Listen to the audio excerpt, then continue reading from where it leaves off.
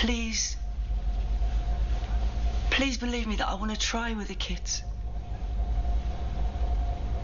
I just want to see them.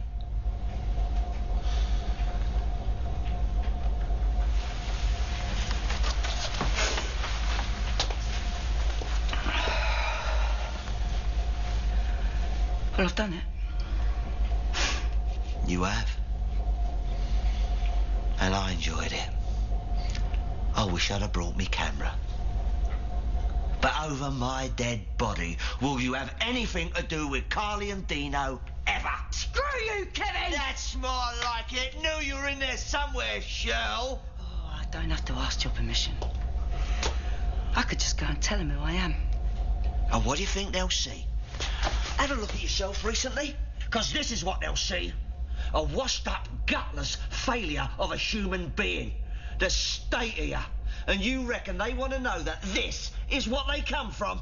You'll give them bleeding nightmares. You did us all a favour when you left. We're better off without you. Now do us another favour. Crawl back under your stone and die a miserable, lonely death. But leave us be.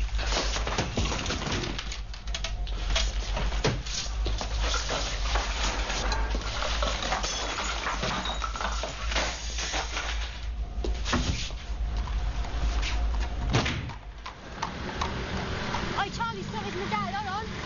Stop, stop, stop. All right. I'm going to go with my tags and I'll see you there later, all right? Okay, good. Thanks.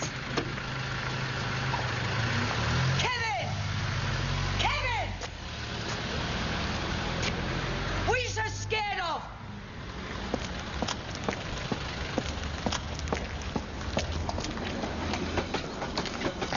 Yeah?